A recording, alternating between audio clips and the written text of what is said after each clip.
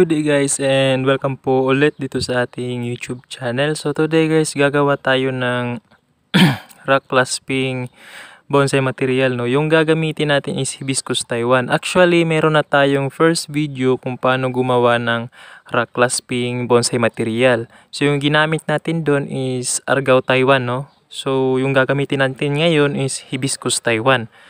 So, napili ko na gumamit ng Hibiscus Taiwan kasi yung Hibiscus Taiwan guys is napakadali niyang magpalaki ng ugat no. So, sobrang mas mabilis pa siya sa Argao Taiwan magpakapal ng ugat. So, kung mas mabilis kumapal yung ugat na gagawin yung clasping bonsai, mas madali siyang kakapit dito sa ating bato na pagkakapitan ng hibiscus no. So now nasa harap tayo ng isang limestone. I don't know if, if limestone ba to or basta bato po siya no. So kung pipili kayo ng bato na gagawin or gagamitin para sa paggawa ng rock clasping is piliin niyo yung may rough surface no o yung mga may biak-biak sa gilid para yung ating gagamitin na materyales which is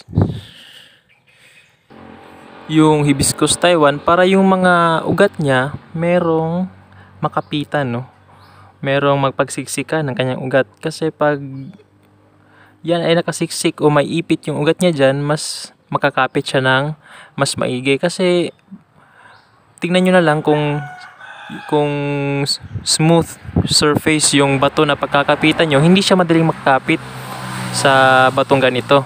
So mas maganda kung merong mga biak-biak no or merong mga butas para sa paglalagyan natin ng ugat. Now sa napapansin nyo guys, yung bato na nasa harap nyo is makikita nyo na maraming mga biak no or very rough yung kanyang surface. Meron siyang mga mga biak no and also meron siyang mga butas dyan. Hanggang papunta po yan dito sa ilalim. So napakagandang gamitin ito for rock clasping kasi dyan natin isisiksik yung mga ugat ng ating hibiscus Taiwan no? Which is this one. Para pag yung ugat na yan ay lumaki maiipit siya doon sa mga biyak niya or sa mga butas niya. At pag naipit yan magiging compact or magiging solid yung pagkakapit niya sa bato. So hindi na siya madaling matanggal. So kung pipili kayo ng bato mas maganda kung merong mga butas or merong mga mga biak sa gilid. So, yung gagawin natin is tatanggalin natin yung yung hibiscus Taiwan sa kanyang pinagtaniman no para makita natin yung mga ugat niya. So guys, ito na yung hibiscus Taiwan natin no na tinanim natin noon dito sa ano sa plastic ng soft drinks. So from cuttings pa to siya, na-wire ko na yung first branch and and also yung back niya which is that one. Yung banda dito na i-wire natin. So medyo matagal-tagal na siyang nakatanim dito no? Lumabas na nga yung kanyang ugat at kumawala na sa ground. So naisip ko siyang ira-clasping so now yung gagawin natin is tatanggalin natin siya sa kanyang training pot o sa kanyang container para makita yung kanyang mga ugat So guys, ito na yung hibiscus natin, no? So meron tayong mga ugat na iilang ugat na pwede nating isiksik doon sa mga butas and sa mga biak ng bato na napili natin, no? So susubukan nating iayos itong ating hibiscus doon sa ating bato, no? Which is this one. This. So susubukan nating iporma o iayos yung mga ugat niya na naaayon dito sa mga biak no dito sa kanyang mga butas subukan nating ipasok or isiksik kung ano ba yung magiging forma niya no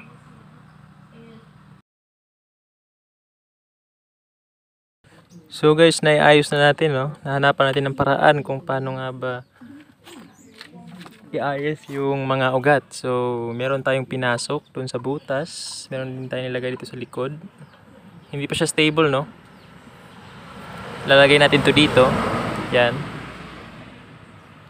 And yung tatlong ugat, nila, pinasok natin sa butas. Ayun pa yung isa. Yan. So, at dahil hindi siya stable, yung gagawin natin is isi-secure natin siya ng wire. O itatali natin siya ng wire para habang hinihintay natin na tumaba yung kanyang mga ugat at maipit yung ugat niya sa bato is para hindi siya maalog no or matanggal sa bato habang hinihintay pa natin na kumapit siya ng maayos or kumapit ng maigi. So, gagawin natin is secure natin siya ng wire para hindi siya matanggal. So, yun yung gagawin natin ngayon, no?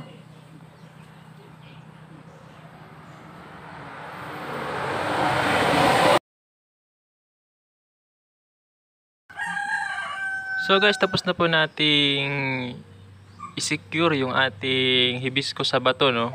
Gamit po yung wire. So in-anchor ko siya sa sa bato din, yung wire para hindi siya madaling matanggal, no?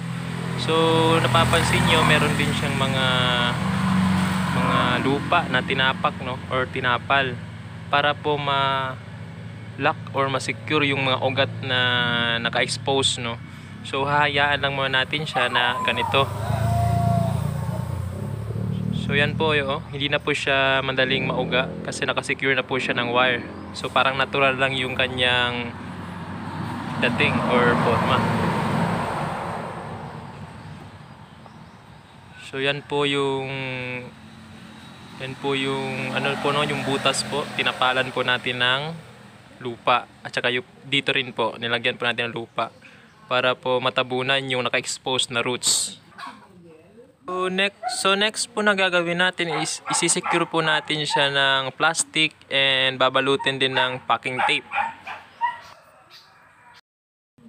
So yan na po guys, no, nabalot na natin siya ng plastic and na-secure din natin ng packing tape para hindi po matanggal yung ating plastic na ibinalot sa ating bato no, kasama yung kanyang ugat. Then now, just observe na lang no kung paano natin binalot yung ating mat- yung ating bato no ng packing tape. So yung purpose po nito is para hindi po ma-dehydrate yung ugat natin. So ganyan po no, babalutin natin ng plastic, secure it with packing tape. Next po na gagawin natin para dito is i-wire natin yung mga sanga para may ayos na din no. So susubukan nating i-wire gamit yung malalaking wire.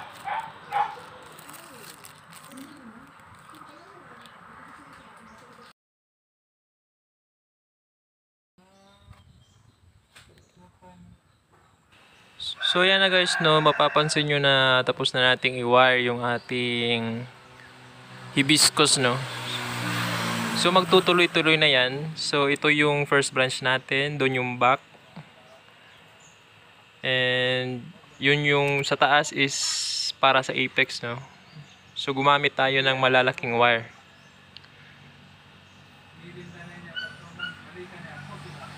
So yan na po guys, no? tapos na po nating i-workshop yung ating rock clasping. No? So yung expected na libing ng pagtatanim nyo nito is dapat malalim muna no.